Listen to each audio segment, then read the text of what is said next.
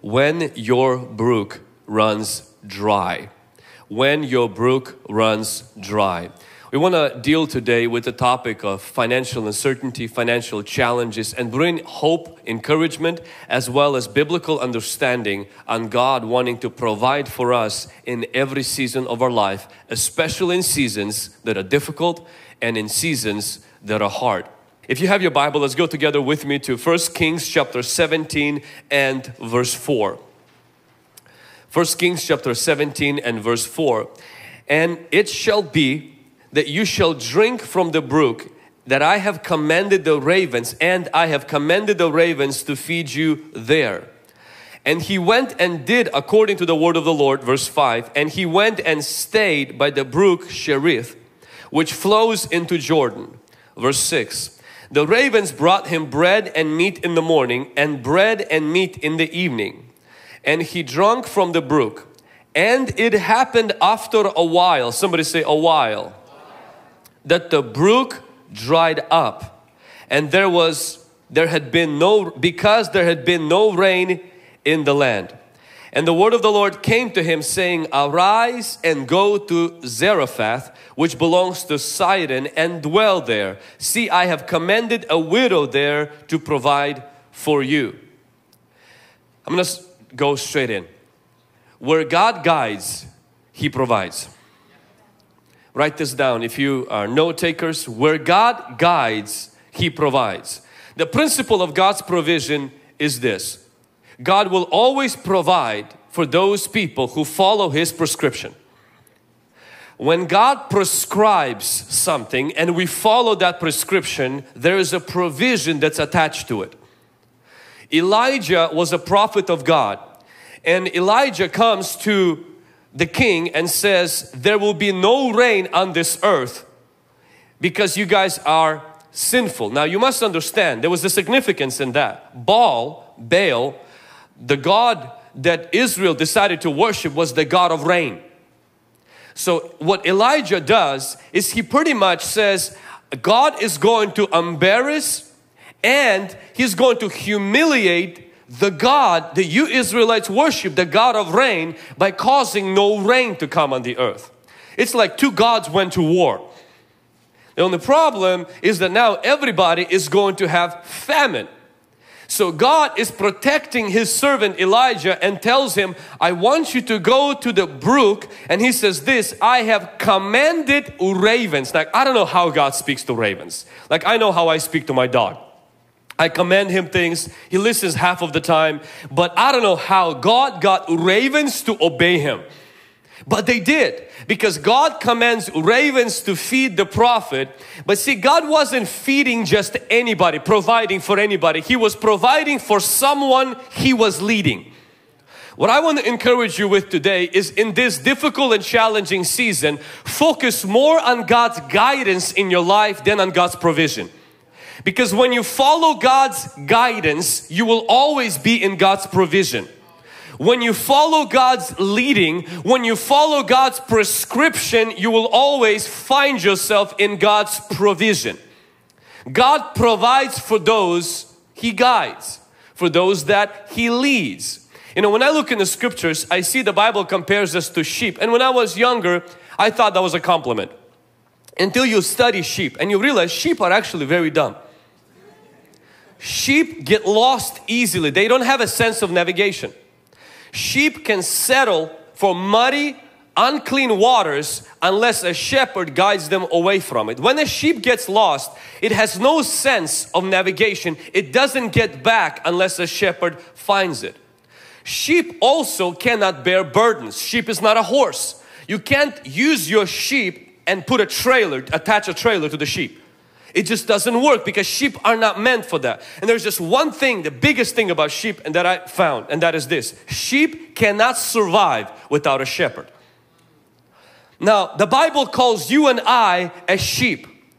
Now a shepherd finds pasture for the sheep and the only thing the sheep has to do is follow the leadership and the guidance of a shepherd. And when the sheep does that, the sheep will find itself at green pastures, still clean, pure waters, will find protection provided by the shepherd, and then this sheep will be successful. When it comes to our finances, we must understand we don't need to be a shepherd if we have one. You don't have to have all your life figured out. You don't even have to have a five year plan. You don't have to have all of your dots in a row. Why? Because you're a sheep. You're not supposed to. Everything about Christian faith is that we have a provider. We don't have to be one. Some of you say, are you saying we should be irresponsible? Absolutely not. What I'm saying, we shouldn't be anxious, stressed out, afraid or worried. That's why Jesus keeps telling His followers, do not worry. Do not worry, but instead seek first the kingdom of God. Meaning, make sure you follow your shepherd because where shepherd guides, He provides. Shepherd will provide for those he prescribes, those he guides in his ways. He did it for Elijah, shepherds do it for sheep, and the Lord will do it for us. I want you to live without, most of us, it's not our financial problems that hurt us, it's our financial worries that hurt us. It's financial fears that bring anxiety. How I'm going to provide, where I'm going to find clients. The business, is the business going to thrive tomorrow? All these unnecessary worries would be necessary if you would be a sheep without a shepherd. But you do have a shepherd and your shepherd doesn't sleep and doesn't slumber. Let him worry for you.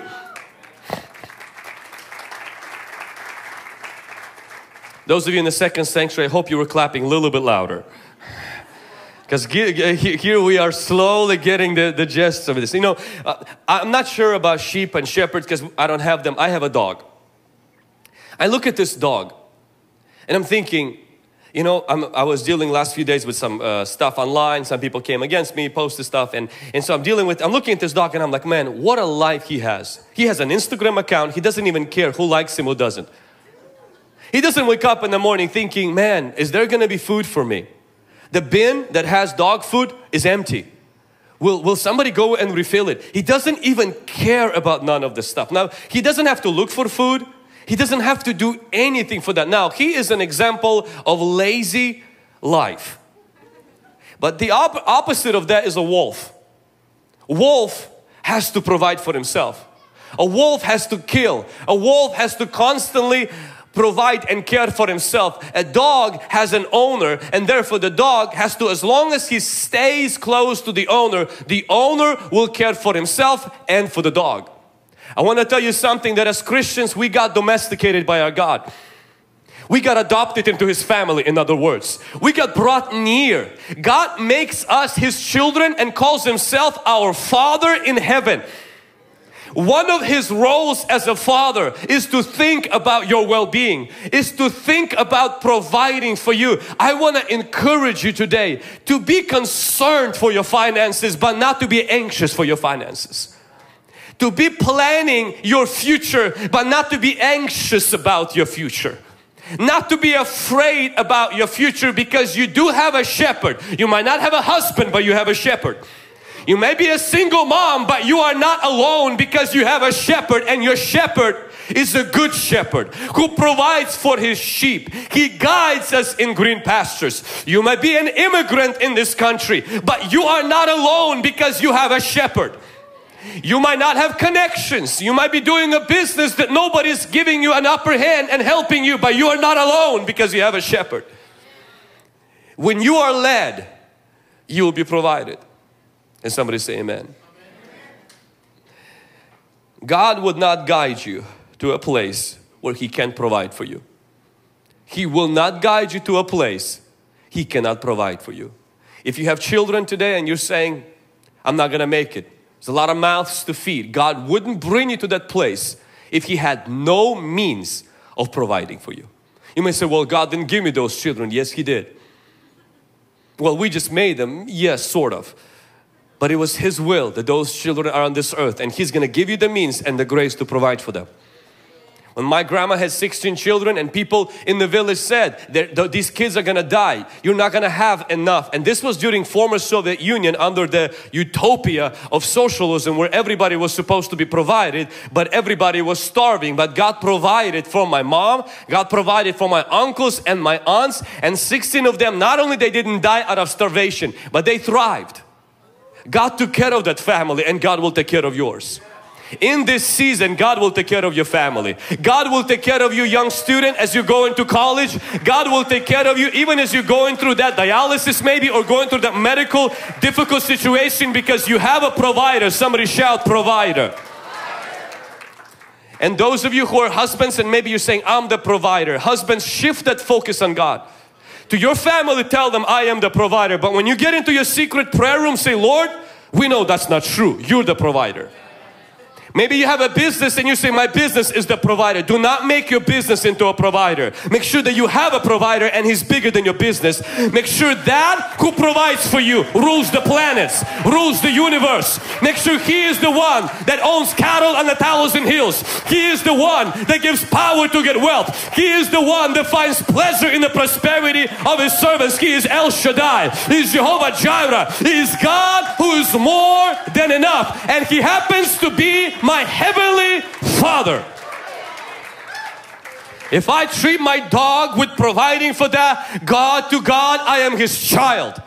His Son died on the cross for me. His Spirit indwells in me. The Bible says His angels encamp around those who fear God, which means I am not careless, I'm not lazy, but I'm also not stressed out.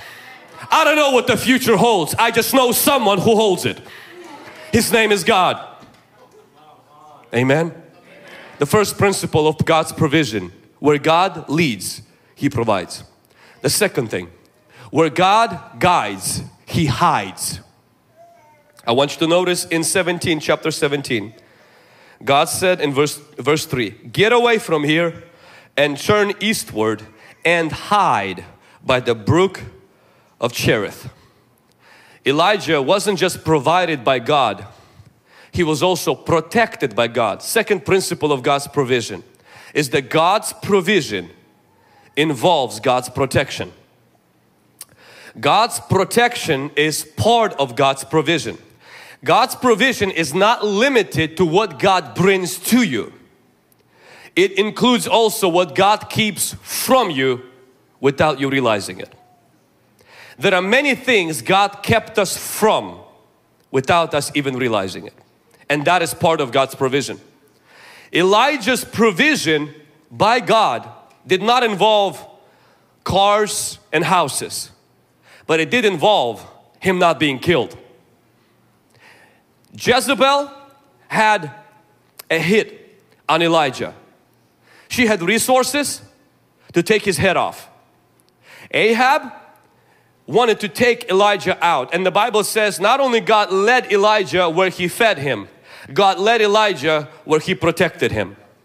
Learn to appreciate God's protection in seasons where sometimes we complain about God not giving us abundance when in reality the fact that you didn't end up in emergency every single weekend is God's protection.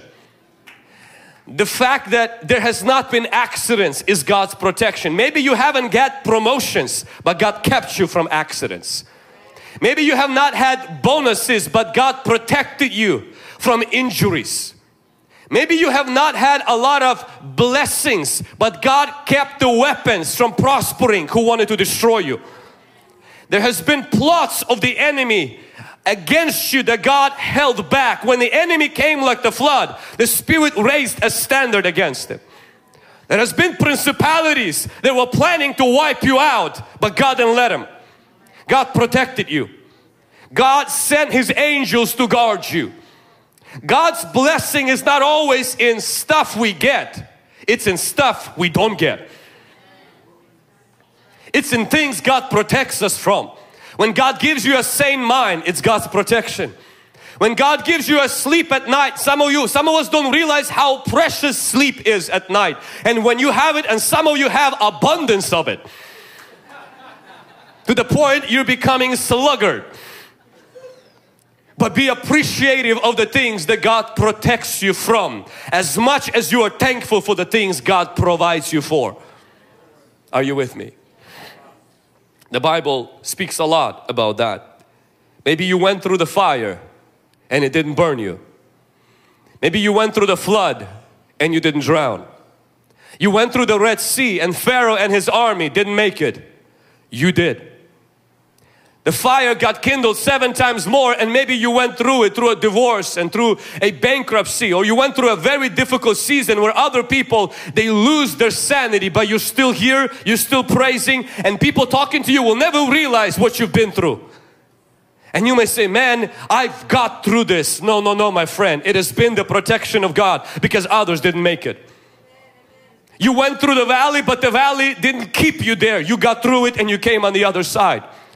Some of you, the stuff you've done, you should have lost your marriage had it not been for the mercy of God.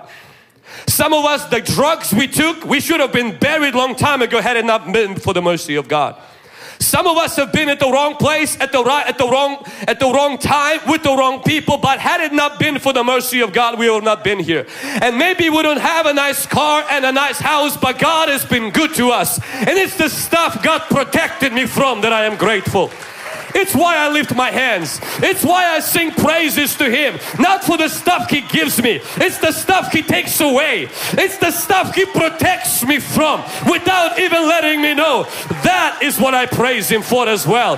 That is what I thank Him for as well.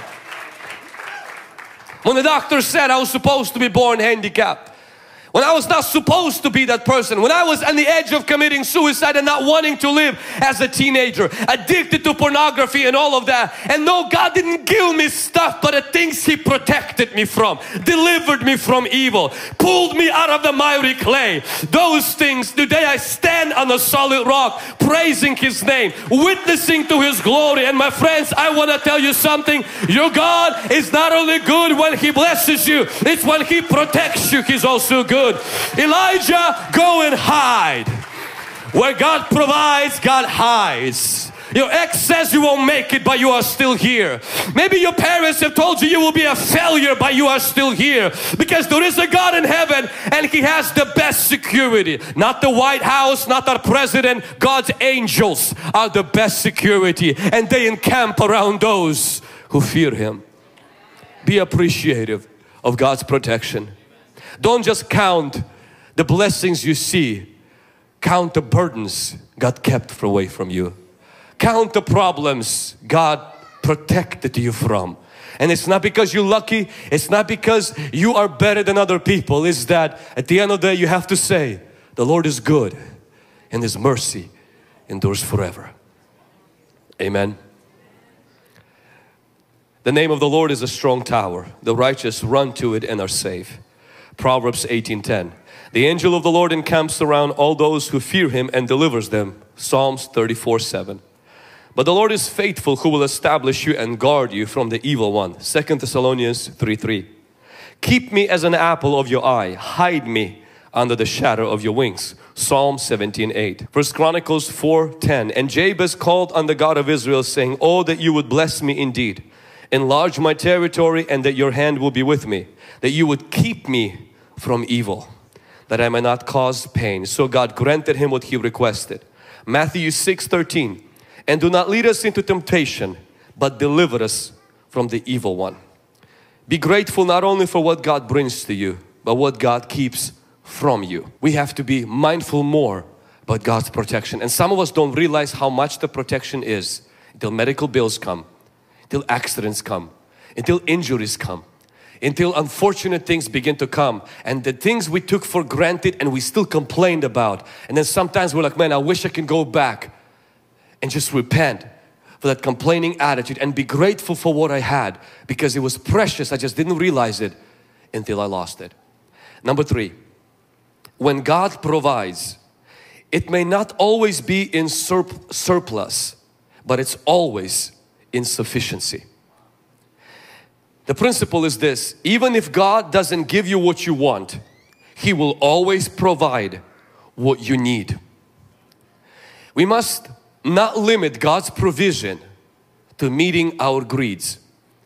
God's provision sometimes for a season is merely meeting our needs. I want you to notice that Elijah walked with God so close.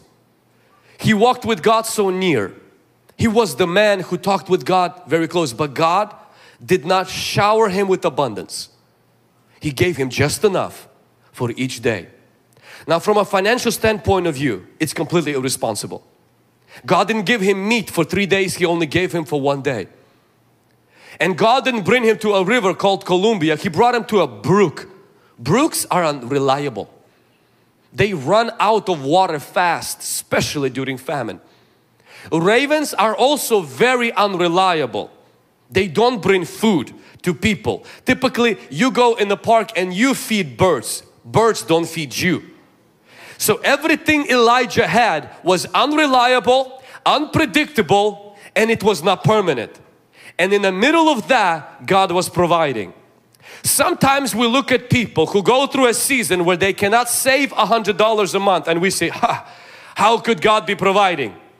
You don't have enough. You're living from hand to mouth. There are seasons where God's best provision is living from hand to mouth having something to eat from hand to mouth. And those seasons should not be complained about. Those seasons should be received with gratefulness to God without feeling satisfied, without feeling like you are settling, but to say, God, thank you that I ate in the morning and I ate at night. Not three meals, two meals. That was God's provision. When I look at that I say, Lord, but that's not prosperity. Lord, but that's not a lot. But it was enough. It was necessities not abundance. It was just enough, no leftover. It was daily. It was not something you can put into your savings account. You know, I remember in the beginning stages when me and my wife just got married and she was going to school and working part-time and going to school uh, part-time as well and we were barely making ends meet. And I had a a little real estate property that was giving me passive income and I was we were barely making ends meet. We had to go on a date with an envelope. We applied the Dave Ramsey principles and and we would have $20 on our date and split one meal and you know and I felt a little bit dissatisfied. I felt like, man, I'm serving God. Why is He not blessing me? And, and sometimes when you focus so much on your dreams that you actually forget that it's God who supplies for your needs. And you become ungrateful for the fact that you have food, that you have clothes, that you have a house to live in or a place to live in. And just because you don't have anything extra at this season, it does not mean you will live like this all your life. And it does not mean God forgot you or God isn't blessing you. Not every season of our life, God's blessing brings surplus. There are seasons God's blessings just brings sufficiency. 40 years Israel ate on sufficiency. Just enough for today. Almighty God could have given them so much that they stored in their fridges. Yet God chose to take them through 40 years of giving them just enough for one day. Some of you who may be like, man, but I don't have enough for the future. I only have right now just enough for today. Financial advisors will look at you and say, you are irresponsible with your finances. But my friends, in the Bible we're seeing some seasons in our life we have to take one day at a time one month at a time, one year at a time and see God's blessing in just meeting our needs any less as if that blessing would come with abundance, overflow or surplus. Amen. Trust God every day and stop seeing God's provision as struggle is real. Because that's what a lot of times we do, especially when we barely make ends meet. This is how we define it. Struggle is real, brother. Meaning, man, just, just grinding, man. No, change the attitude. God's been good. He meets my needs according to His riches and glory. My family is fed. Our roof doesn't leak and if it does, we'll replace the shingles we are doing all right. Do we have overflow? At this season, no. But at this season, we are seeing God's hand in meeting our needs. Don't covet what somebody else has. Don't compare your provision with somebody's prosperity. And this is why many of us complain about the little that God gives us is because your neighbor has, has moved away from that season and God seems to give him surplus right now. So you're looking at your sufficiency and you're looking at him. You both serve same God, but there's you, you must understand one thing. You have same God, but you have two different seasons. You are two different seasons. Your neighbor is in a different season and you should not compare your provision with their process. Be grateful for the season that you are in and that your God is supplying your needs in your season. Can somebody say amen? Don't complain about what you don't have. Thank God for what you do have. Being grateful doesn't mean you are complacent. I, I battled this with myself. I was afraid to thank God for the little that I have because I said, well, that would simply mean I don't want more or I don't want, I don't want to be complacent. I don't want to feel like my wife is, you know, or my children or my family sees it that I don't want to grow and move forward and expand and be like Jabez, enlarge my territory. Being grateful does not mean you're complacent. Being grateful means you acknowledge that even in little things there is God's blessing. Being grateful means you're developing an attitude of gratitude and God will take you from this season to a different season and you, you will be, when you will have more, you will even have more gratitude, not more greed. If we go through the little, if we go through the necessities being met, sufficiency being given, and we don't have gratitude and we say, yeah, once I reach my dreams, I build a house that I finally want, have a car that I finally want, only then I will be grateful. You won't be grateful then because your goalpost will move higher. The moment you reach that season, you will begin to see somebody who has something better and you will keep moving your goalpost until you are dead and you realize you were never grateful. You always chased your tail. You always chased the wind. I want to challenge you today. Develop an attitude of gratefulness if you have just enough. If you can't save a dollar a month, but your needs are met, be grateful.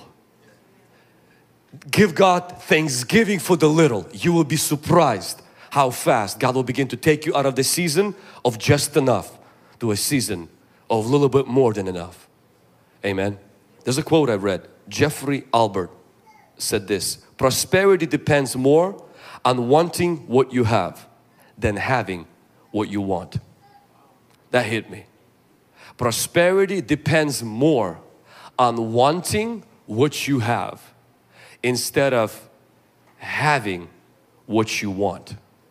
So many times we have a beautiful family, we have health, we have work, we have a local church, we have so many good things, but we don't want those things. We keep chasing something else.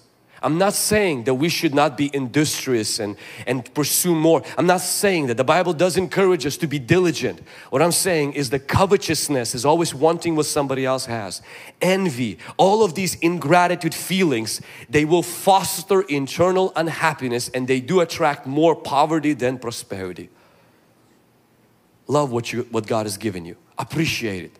Thank God for it and you will see God will make it grow.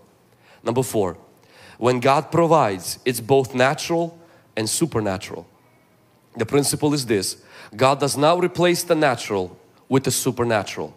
He adds the supernatural to our natural. The brook was natural. Ravens, not natural. How so? Ravens, they said, ravens don't even feed their own children. Ravens are scavengers. Ravens are not the birds you want bringing food to you because they don't bring food to people. They just eat. They steal food from other people. Ravens are known to even pluck the dead people's eyes. In the Bible, this speaks of that. Ravens, Noah sent them out and they didn't return. Totally unreliable. Totally unresponsible. So there's a supernatural part where God takes ravens and makes them into His provision method for Elijah, supernatural. But I want you to notice this. When and where did the ravens appear? At the brook. What that means, those of you in the second sanctuary, listen very carefully. God's supernatural will always meet you at the point of your natural. God adds ravens to the brooks. You don't meet the ravens until you find your brook. Sometimes what we want is we want God to add super, but we don't want to provide the natural. We don't want to provide good work ethic. We don't want to provide a business idea. We don't want to provide a good diligent lifestyle. And we say, Lord, bring the miracle money. God, give me a lot of money in my bank account while I play video games. God doesn't bring ravens. if you don't have a brook. It means God wants to partner with you. God doesn't want to replace you. He didn't create you as His image bearers for you to constantly, like my dog, do nothing but bark and just wait for the owner to provide for everything. You are made in the image and likeness of God. God wants you to create. God wants you to innovate. God wants you to plan. God wants you to take your steps and God says as you're moving, I will direct your steps. God is not going to move a parked car. He doesn't add super if we don't add natural. His supernatural doesn't replace our natural. It adds to it. Which means God is waiting on us. It's both. God wants to supernaturally do things in our life. Your finances, I want to encourage you, every person here, not only to work hard, but to believe hard.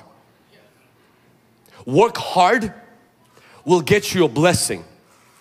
Miracles come not just by working hard. I know a lot of people who work hard. People who experience miracles in their finances, they don't just work hard, they believe hard. Meaning they do their best and they say, God, I know it's not enough. Could you step in? Lord, I'm working hard. Lord, I'm putting in hours. Lord, I have this education, I have these connections, but God, it's not enough. Lord, when I come to the end of me, could you take on and pick up the tab? Believe for God's supernatural intervention in your finances. Believe that God wants to do something in your finances you can't explain. Bookkeeper cannot explain. Accountant cannot explain. You looking look, man, this is God's miracle. I'm not saying because you did something shady but because God did something incredible. That God brought something that is unexplainable. That God did something that is just, you experienced it, you can't explain it. This doesn't add up. We gave 10% to the local church. We should not be able to survive on 90% except you get back to the end of the month. You're like, man, not only we have our needs met, but it just seems like there is still enough even for other things. I can't explain that. That is God's math. It involves miracles. When God comes and gets involved in your finances, you have to account for miracles. When God gets involved in your life, you have to give room for the supernatural. Not everything will be explained. Not everything will depend on your school. Not everything will depend on your connections and not everything will depend on your work, good ethic. It will depend on His power. Give room to God. Invite Him in your business. Invite Him in your finances. Invite Him to the mountain of debt that you have. Invite Him into the medical bills that you have. Invite God because when He comes, He naturally does supernatural. Naturally, He does supernatural. If you walk naturally, it doesn't take any supernatural power on your end. For God to bring miracles is exactly the same. He can't move without making miracles. He snaps, miracles happen. Jesus spit. My saliva can get me punched. If I release it and send it your way, I will have a black eye. Jesus sent saliva and the guy's eye was healed. He, his feet, if I walk, I drown in the sea. The sea changes, molecules change, atoms change, everything changes because it's Jesus. Disciples fished all night. They couldn't catch any fish. He says, go back again. Where did fish appear? I don't know. I can't explain it. One thing I know is the nets were ripping. Disciples fished all night and he says throw the nets to the other side. Well, that's not much difference from here to here except such a big difference the nets were ripping. That's my God. You go fishing and you grab a fish and so you eat the fish. Jesus paid taxes through fishing. You can't explain that. Just five loaves and two fish, one boy's lunch, but he fed multitudes. You can't explain that. Why? Because you can't fit a miraculous universe making God into a box where He will not do supernatural. Your God is a miracle maker. He is the wave maker. He walks on water. I want to challenge you today. Work hard, but believe as well. Believe for the documents to come through. Believe for your status to change. Believe for God to pull you out. Work hard but also say, God, I trust in you. Where my natural ends, add the supernatural. This is not being lazy. This is not being irresponsible. It's being a Christian. Some of us live like atheists. We don't believe God can do anything. We only work hard. I want you to believe in God. Invite Him into your finances. Your God is not religious pope. He's the creator. He's not limited to a church. He made galaxies. He created everything we see and we don't see. Your God is not a theologian. He is God. Bigger, mightier, made everything. Can you imagine what He can do? As your Father, whom you trust with impossible. His specialty, there are doctors who have specialties. Some who specialize in heart issues. Some who specialize in giving birth. Women, helping women to give birth. You know what your God's specialty? Impossible. There's nothing He cannot do. Impossibilities are His specialty. He called dead things sleeping. He says Lazarus is sleeping. His worldview, his perspective is different. He lives in a different realm. And this God wants to partner with you. You have a brook called your job. Could you ask God for ravens? Could you invite God supernaturally? I lived my life for a portion of it never seeing God's miracles in my finances. I've seen God's blessing, never God's miracles. But about 10 years ago, everything changed. And I would say in the last 10 years, I lived more generous.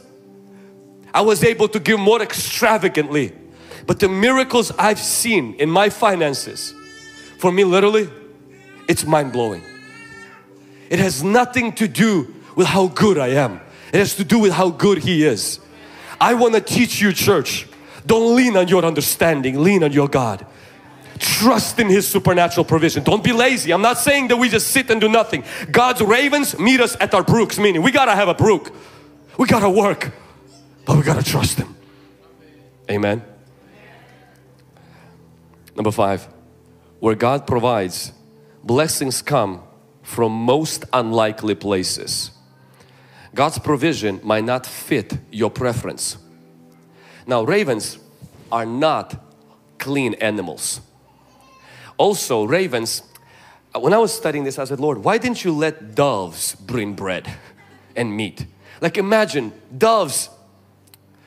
I don't have a dove on my Bible, it's fire in the shield. But doves is doves are the symbol of peace. God takes honestly the animals that I'll be like the last one on my list. And God says, I'll use them. I think there's a there's there's a principle there and this is the principle. Your company that you're working for doesn't have to have to have a cross in the lobby for God to provide through them for you. Your boss doesn't have to speak in tongues for God to use that company to provide for you. So many Christians are like, I am not going to work if I want to know what is his doctrinal preferences. The guy's atheist. I'm not working. Why? They do not have a Bible in the lobby. My favorite verse is not in my office. Instead, they have a Confucius guy quote in the lobby. I can't work there because I'm gonna get defiled. Joseph didn't get defiled working for Pharaoh. Daniel did not get defiled working for Nebuchadnezzar. Esther did not get defiled being married to a heathen king. The Bible calls you light and salt. Light is not afraid of darkness. Salt is not afraid of corruption. It goes into those places. I am not saying we should work for toxic environments, abusive and unethical places. But we as Christians should not, Jesus did not say take them from this world. He says protect them from evil. That means God will use ravens to provide for you. Your boss doesn't have to speak in tongues and read King James Bible to be used of God to provide for you. Work in that place, be diligent in that place, add value to that place, even if it's full of ravens. Amen. God used the prostitute to guide the spies in the promised land. We see that God used the daughter of Pharaoh to raise Moses. God used Amalekites to help find David Amalekites. God used the donkey to help speak to a prophet. David found protection in the Philistines land from Saul. Joseph worked for Pharaoh. Moses grew up in a heathen palace. Daniel worked for Nebuchadnezzar. Esther was married to Xerxes. That means that God can use a wicked, non-Christian place that you can work. We're not talking about a place where blatantly supports things that are just contrary to the scriptures. But we're talking about a place that doesn't necessarily have owners or its board or its values rooted in the scriptures or things that we value as, as Christians. You can still be a light in that place and God can still use you to bring salt in that place. God can use ravens to feed his prophet. He didn't use a dove which means that God can use your workplace to bless you. Amen Number six, when God's provision comes to an end, it's time to pivot. Principle is this, God doesn't stop being a provider even when His provisions stop. Though God's provisions were supernatural and natural, the Bible says that the natural part ran its course and when the brook dried up, we don't see anything about the ravens. I think the ravens stopped coming as well. Good times don't last. You can be in God's will, in the center of God's will and your brook can dry up. God doesn't promise that the brook won't dry up. God promises He will never stop providing for you in spite of the means He uses for your provision running dry. Dry brook is not a punishment nor is it a cause for some sin that you committed. I love how the Bible says the brook dried up because there was no rain. It does not say because Elijah didn't fast. It doesn't say because Elijah didn't pray hard enough.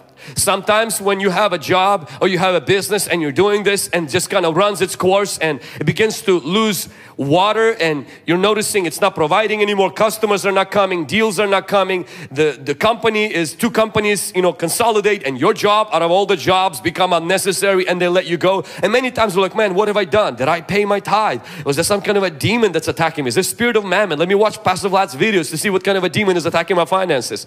And then you start looking for some kind of something to blame but sometimes there's no one to blame the Bible says the rain stopped coming the brook dried up and God didn't give an explanation why the brook dried up, God gave a redirection of where to find the next provision.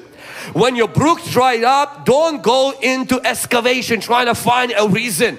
Look for God's direction and pivot to the next season God has for you. This is a word for somebody. This was worth getting up. All the fights on the way to church with your children just to hear this. If your brook dried up, it's time to pray and pivot. Don't pray for the brook to be resurrected. Pray and pivot. Pray and say, God, what are you doing next? God, are you going to open another door for me? Are you going to open another business opportunity for me? Are you going to connect me to something new? Pray and pivot. 88% of Fortune 500 firms that existed in 1955 are gone. Blockbuster. In 1985, a year before I was born, started, this company started and in 2010 it went bankrupt. At its peak, 2004, Blockbuster employed 84,300 employees worldwide and had 9,094 stores. Unable to transition toward digital model, Blockbuster filed for bankruptcy in 2010. Interestingly, that in the year 2000, so the same year we came to the States, Netflix approached Blockbuster with an offer to sell their company to Blockbuster for 50 million dollars. So Netflix come and like, hey, we want to sell our company to you guys for 50 million. Blockbuster CEO was not interested in the offer because he thought it was a very small niche business. And it was losing money. Netflix was losing money at the time. As of July 2017, Netflix had 1.103 million subscribers worldwide and the revenue of 8.8 billion dollars. What happened? Brook was drying up and Blockbuster instead of using common sense kept staying at the dry brook. If we stay at the brooks that dried up, we will die with those brooks. We have to pivot. Sometimes we wait for resurrection in the places God doesn't promise resurrection. God promise, promises redirection. The same thing that happened with other companies like Polaroid, Toys R Us, Kodak, General Motors, Compaq. Now interestingly, companies that pivoted. Samsung, which is a Korean company, started not by selling electronics, but started by selling dried fish and noodles. I'm so glad they pivoted. Nothing wrong with dry fish and noodles. They started selling one thing, realized it ain't going anywhere. Change the vision. change the direction. Why? Because when the brook dried up, you have to pivot. You can't just wait there. So they went to electronics and most likely every person here has something in their house that's from South Korea. Shell company, gas station company, where uh, the one that produces, uh, the one that we buy fuel from, started as an antique business that imported goods from around the world. God bless their soul. Antiques are amazing, but after a while they've noticed this is not producing any finances and they changed their strategy. Instead of selling antiques, they sell gasoline. It's a billion dollar company. Mazda started as a company that produced cork, light brown substance obtained from the outer shell of the bark of the cork oak. So they started first selling, you know, the, those cork uh, things that we put into bottles. So they were selling cork until after a while they decided to probably pivot into selling motorcycles and then into cars. And today a lot of us have Mazdas, but they didn't start selling Mazdas. They pivoted when they realized things need to change. Toyota started to manufacture and sell automatic looms, not cars automatic looms they were selling. And then after a while they pivoted. American Express started first to focus on express mail not credit cards. They were just doing like what post office is doing. And then they pivoted and they became the company that they were. There is certain common sense that has to hit all of us as believers. When the brook dries up it's time to pivot. The Lord came to Elijah and said Elijah rise and go to another place. I'm still your provider, but the means of provision have changed. I am no longer gonna use this to provide for you. I'm gonna use something else. And we as Christians must learn to pivot. This happens in churches. When the seasons change, when the style of music has to change because it was from 50s and 40s, the style even of services. And the churches who are more addicted to their past instead of their future, they see the brooks dry up, people leave and they do not go into the next season. Sometimes we notice that when our building is too small and no more people can come in, we have to pivot and get a different building. We have to pivot even with service times. And you notice one thing about Hungry Gen, there's always changes. And some people are like, man, I hate all these changes. Trust me. When the Lord is moving, there has to be changes. When I was younger and as a baby, they had one size of pants for me. But when I grew, they had to change my pants. Why they had to change my pants? Because I changed, my structure changed and my pants had to reflect my structure. When your life begins to change, so will your finances, your job opportunities. Be flexible. Don't be stuck. Don't be stubborn. Be fluid to change the trajectory and the direction of your company, of your employment and your business. When the brook dries up, pivot. Amen. And the last thing, and this one's short. When God provides for you, it's good. When He provides through you, it's better. The brook dries up and the Lord comes to Elijah and says, Elijah, no explanation. What happened? He doesn't blame anybody. He says, Elijah, next, next season, go to uh, Zarephath. And the Bible says, this, the, the place of Sidon. Now, for us, we're excited. Who cares? It's very important because that's where Jezebel is from. That's Je Jezebel's hometown. It's almost like God puts his prophet right in the middle of where Jezebel is from and God's like, and I'm gonna mess with this whole thing up. He goes into Sidon, he goes into Zarephath. But I want you to notice this God says, I told the widow to provide for you. I think the widow lost the email because she didn't get the memo. Elijah comes thinking it's gonna happen like ravens. You know, I show up, water is there, ravens, meat and bread, morning and evening. He's thinking this is gonna be just a widow. She understands. Ravens probably hear God not as clear, but widows, you know, women, men, they hear God clearly. So he's arriving. A widow is over there gathering sticks. Hey, I'm the guy that God told you about. He says, Excuse me, who are you? Uh, you're supposed to provide for me. She's like, uh, I didn't get the memo. I have very little bit left, me and my son, after we cook the meal that I'm about to do, and then we're gonna die. We already have our funeral lot, uh, we, are gonna die. And he says, oh shoot, you, you have a bigger problem than I do. And then I think it dawned on Elijah. God didn't just send me here so that she provides for me. God sent me here so that God can provide for all of us. At the brook, only I got fed. In the house, a family will get fed. What if God takes us from one season to bring us to a season where it's not just you that will be taken care of, but you will have enough to care for your elderly parents. You will have enough to care for your children. You will have enough to care for somebody that you know is an orphan or a widow and you know they're struggling and you have just enough for you and have a little bit more for others. Remember God's ultimate goal where He's gonna take you is not going to be at the brook where your needs are met. It's when other people's needs are met as well through you. Think bigger. Think on the level how God wants to. He wants to care for others as well. God isn't just interested in making your belly full of food. He wants to make sure that the bellies of other people He puts in your radius are also full of food. So when God gives you more, instead of just saying, how can I increase my empire? You have to begin to look at how can I either hire other people? How can I help other people? How can I elevate the life of other people that He puts in my way? I cannot remove poverty everywhere in the world, but I can remove poverty of people that I know that are close to me. I cannot fix poverty somewhere in India, in Mozambique or maybe somewhere in China. But if I know a widow, if I know an orphan, if I know somebody who felt on a hard time and that news comes to me, that means that it, God puts the responsibility and the means in me to help that. Because God's provision isn't only the brook where my needs are met. God's provision is also the season where I have just enough to meet others and my needs. Hey, thanks well. for watching to this sermon. If this was a blessing to you, would you let me know in the comments below what stood out to you from this message? What are you taking home with you from this message?